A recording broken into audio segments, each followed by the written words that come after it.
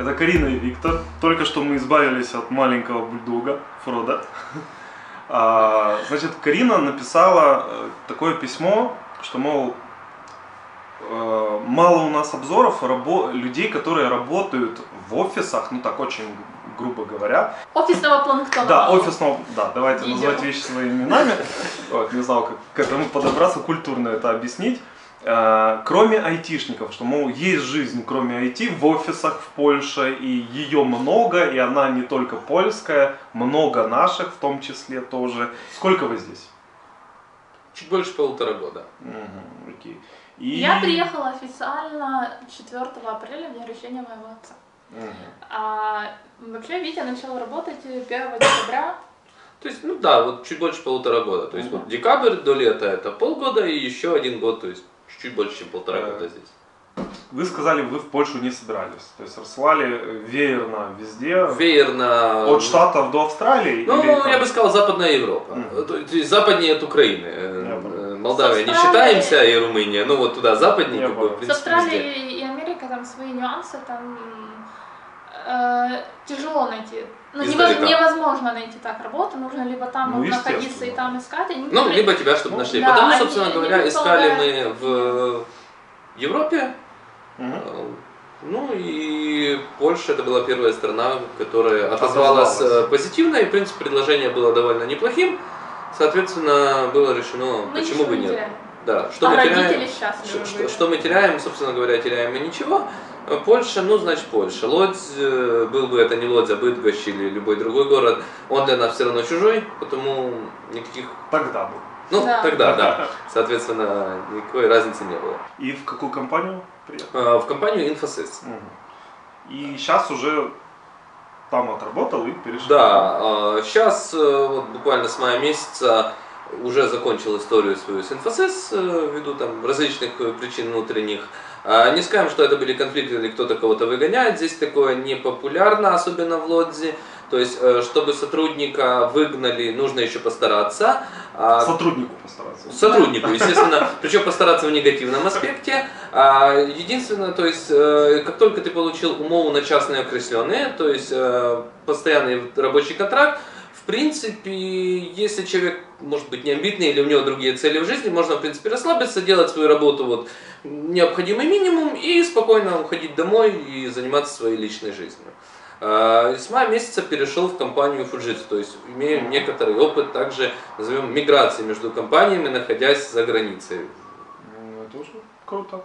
Уже, и уже смелее можно смотреть дальше. Уже, Да, есть естественно, уже, уже не пугает никакая документальная Это нас за волокита. полтора года, наверное, уже мало что пугает. Мы уже машину кварти- купили Ну, с- про на французских номерах. Ага, сами. Да. В Польше. В Польше. Ну, да. да, да, да, То есть да. вообще не понимая, что такое бриф, и оказывается это довод причем. регистрационный. То есть, э, в принципе, никакие такие челленджи уже не пугают Ну, какие-то. нам скучно было за полгода стало, и мы такие, что бы нам такое придумать? А, вот, машины нам не хватает, давай купим машину на французских номерах, где-нибудь подальше. Но машина хорошая. Хорошая. Но она, в она в отличном состоянии. У нас она, она полтора ей год, уже чуть больше года, и с ней ничего не происходило. А, Про квартиру можно говорить. Кстати, в подтверждении того вот ролика, о котором я говорил, что результаты жизни в Польше, да, многих людей, ребята полтора, чуть больше полтора года в Польше, уже живут в своей квартире, да, это ипотека, но люди вот за полтора года работы уже позволили себе ипотеку, позволили себе машину. Вот как этот бранш можно вот назвать? Это, это какой-то аутсорсинг? э, это называется SSC. Это, я бы сказал, эта концепция, в принципе, широко известна в финансовых кругах и в менеджменте как Shared Service Center. То есть э, в русской литературе иногда можем встретить центры общей деятельности. Ага. Это, Очень грубо как-то. Ну, Ну, никто Это не такой говорит это на самом деле. европейский бангалор, да? э, в принципе, да, это по сути Ну, есть... Не в Польше- айтишный, а Да, мы в Польше э, как бы европейские индусы, В назовем Украине, так. в Украине такого Только с языком. нет. Вот единственная разница, да, если возьмем Индию, то там язык не нужен, потому что туда аутсорсят все англоязычное, Ага. А здесь аутсорсят все, где нужен какой-то из языков. Вот, теперь э, Карина, самое главное, вот она написала, что имея язык, не обязательно иметь какую-то глубокую профессию, какую-то глубокую специальность. Даже тут меня что удивило, я примерно знаком, что такое Эрнст Янг, и как бы Ну, там... это, это у меня немножко по-другому. это- ага, то есть, окей, я, хорошо. я, я, я Тогда- работаю не по языке, у меня 5 лет работы, то есть я, уже, я сюда пришла, Но, меня ты- уже повысили, я тут... э, то есть начала с... э, не, я начала не сам. Я, я когда пришла, я уже был, я получала уже выше, чем все остальные. И я Мгм. самая младшая в офисе. И меня уже с тех пор, ну, то есть за год работы, вот в сентябре будет год, я работаю, меня уже повысили, я вот э, сентябрь начну с новой должности. То, что ты говорила Но о я- языке. Ну, это они- бухгалтерия. Да. Но Это это, не- это Это, ну, ну, в какой-то мере, скажем Это так, работа. профессиональная квалификация нужна. Не, не Это- скажем, это она должна быть бумажная. Но она должна быть... ну, Какая-то базовая. какая-то Мы база. говорим Да. именно о А базовой. вот, допустим, возьмем пример. Мы знаем девочку, так как мы Да. с ней не договаривались, не будем называть там имена и компании, Да. А, но приехала девочка, а, которая приехала из Украины, училась Да. она где-то на лингвиста какого-то языка, вообще не знаю, на что она училась, ну, то есть ничего не связано с экономикой, то, э, с чем мы работаем, но она знала чешский язык, то есть знала она из-за того, что где-то там, я не знаю, то ли лингвистом, то ли Училась. учила, но неважно. Главное знала. Да, Да. то есть она знала какую-то свою специальность, скажем, специальность, э, не знаю, инженера назовем ее, и знала чешский язык. Мгм. А Она поработала там в Украине в одной из компаний, где немножко просто подтянула чешский. И Потому с- что ее тоже там взяли. да, из-за чешского языка, то есть Мгм. опять-таки не специальность в Польше. А, Она приехала в Польшу, э, там Не чисто на, из- ба- она приехала уже не на, ба- не на самый не на самый Её уровень, но приехала из-за чего? Из-за того, что она знает английский, то есть который считается как бы must have, и эта база, это в принципе не, не разговариваем даже об этом, Мгм. то есть все, что мы будем рассказывать, это все как бы by default, что что знаете английский вы английский знаете, пускай может быть не Не на на идеальном не на уровне. идеальном уровне, Главное не говорить, что он не идеальный. Вот Мгм. приходишь, говоришь, что ты вот говоришь То есть по-английски IELTS больше. пятерка, ну окей. А? То есть вот IELTS пятерка, окей. Э, Как- ну, не, мы не, не, сдавали. никакой IELTS. а, Вообще ничего не нужно. Ты а, просто приходишь, тебя Ну, то есть не is the capital of Great Britain, не этот уровень, чуть-чуть выше. чуть-чуть выше и выучите 3-4 слова из аккаунтинга, там invoice, э, issued э, и так далее. То есть такие самые, даже не надо теорию учить, просто вот слова.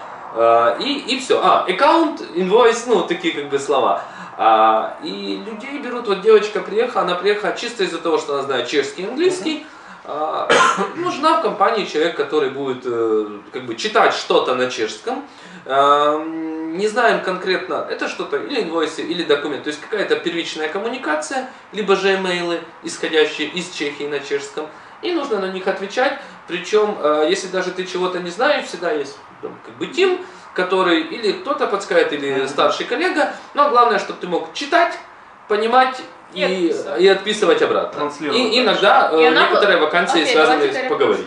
о. А? О плюшках. О Она плюшках. получала 4 Да. на руки и, квар- и э, жила в Ну, квартире. чуть, чуть меньше, чем 4, там зависит от языка. То есть, сразу скажу, чем более редкий язык, Тем финский, венгерский, который не знает никто, кроме финнов и венгров, Да. а, будешь получать, грубо говоря, к своей base salary а, 50% сверху. Вот просто за то, что ты знаешь язык. То есть это уже 5-6. Да. на- Ну, Ну, нет, Фин ну, ба- получал- базовая где-то, Фин получал 6. ну, 6 гроз. Давайте тогда не, не будем сразу тут все мешать, чтобы Окей, муки ну, отдельно, компот отдельно. Мгм. А, то есть будем говорить э, цифры до налогообложения, потому что налоги Окей. у всех разные. Согласен. Нюансы в Польше это... Ну и плюс это по у- по лоде такая практика, либо по каким-то компаниям в плане оплаты жилья. А, По поводу жилья, это практика компании Infosys. Ага. То есть это ну, по поводу остальных компаний, из того, что мы слышали, по крайней мере, такой практики нет. Потому что компания заинтересована просто в Но не языках, помогает. Если ты переезжаешь, любая компания, она чем-то помогает. чем-то Мгм. помогает. То есть это Ну, либо прикольно. материально, ча- часто материально, э, плюс помогает э, найти там квартиру или что-то. То есть э, тебя никто не бросает. Если э, ты из другого города и тебе Иммиграционный дали... вопрос, кстати, да, для многих людей, кто переживает. Знаю я язык, знаю я что-то еще, а, перееду в другую страну, ну хорошо, допустим, на работе меня возьмут, я там что-то буду делать, выйду из офиса, и что мне делать вообще с визами, побытами и прочими делами. Все такие компании большие, которые зовут тебя из языка, к примеру. Не а, важно здесь что, просто ты получил Да. Не, не важно, если Они это занимаются, то есть, в Они принципе, все это- вот такие офисные корпорации, с которыми мы связаны, они занимаются поддержкой иммиграционных вопросов. Как минимум, тебя все сделают. как минимум, они тебе скажут, помогут все заполнить, скажут, сходишь в кабинет, а как максимум, вообще ты напишешь на них доверенность, и тебя только вызовут отсканировать пальцы. То есть ты, в принципе, можешь, э, если тебе не горит, Мгм. ты хочешь это Да. ускорить, то ты, в принципе, ну сиди, ходи на работу, э, там, занесешь что HR какие-то документы, они что-то там сделают, попросят Ну, еще, и И без напоминаний, у меня, допустим, в августе заканчивался разрешение на работу, они в июле сделали новую на три года. Круто. И они сделали за неделю. То есть для них это, ну, большие корпорации, у них свои бонусы, естественно, во всех этих э, э, ужондах. И, допустим, в Варшаве там еще проще это делать. То есть я, как, допустим, работаю в Лодзе, но основной офис, он в Варшаве, как у многих корпораций. Э, И в Варшаве они делают многие дела быстрее. Вот Да, ра- да, разрешение на работу очень. для украинца они мне сделали за ровно одну неделю. Вот в пятницу до пятницы. А, и еще по поводу ужендов, раз ты уже сказала и бонусов. Мгм. Допустим, если ты работаешь в своем же городе, в той компании, которая имеет огромный офис такой, который вот всех туда тянут, всех со всего мира, а, скажем так, когда ты придешь в ужент а, с каким-то вопросом, или же ты хочешь сам какие-то иммиграционные дела сделать, не знаю, приехал ли ты с супругой, она еще не работает, они смотрят на место работы, что да, это Да. вот эта корпорация, и в принципе... ну, в Лодзе, инфосys. Допустим, в Лодзе там, да, это возьмем Infosys, Philips, Fujitsu, ну, может быть, еще пару компаний, которых, э, Nordea, к примеру, а, которые известны как крупные работодатели, и, в И принципе, что иностранцев там много. И Все- ты приходишь все в Ужон, прекрасно говоришь, что ты там с инфосиса. да, и как бы, пускай, да, за тобой не бегают, но предвзятости, вот как там некоторые, может, слышали в интернете, что, а, вообще непонятно, какое разрешение принес, непонятно, где Да, он да, работает, да. такого нет.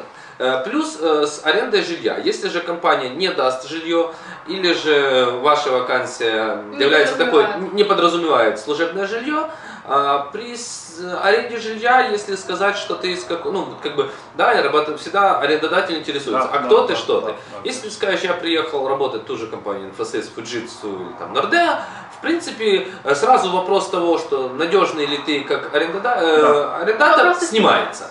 То есть просто остается, ну, как бы заплатишь свой депозит, Мгм. если тебе квартира нравится, заходи. То есть э, предвзятость сразу отпадает.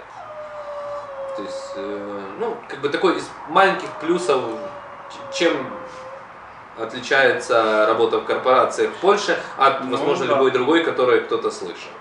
Ну вот чем мне нравится вот, э, в плане Лодз, что действительно недвижимость дешевле. То есть об этом, о недвижимости потом, это, наверное, отдельным роликом я уже сам там запишу. А, вот решаемость этих вопросов, э, достаточно спокойный, размеренный город, машин меньше в разы. То есть, Людей Ну, меньше, самое, людей самое интересное, что а, вот всех то, что мы наблюдаем, их меньше. А, Согласно статистике, их также само на одного жителя. Жителей немножечко меньше, чем в Кракове. Я не знаю, с чем это связано. А, Машины, в принципе, практически есть у всех. Нету только у тех, кто не хочет. Э, Ну да. А, и вот по поводу того, что дала миграция, допустим, из тех коллег, которых мы знаем, кто отработал где-то хотя бы там года два в какой-то из корпораций, даже вот пришел вот с нулевым знанием своей специальности Мгм. после университета, что-то начал делать, годика через два он, в принципе, может себе позволить какую-то 10-15-летнюю машину, которая, в принципе, будет возить его на работу и назад. Мгм. А, те, кто отработал там 5-6 лет, в принципе, люди могут смело позволить себе машину. Что в Украине не всегда является правилом.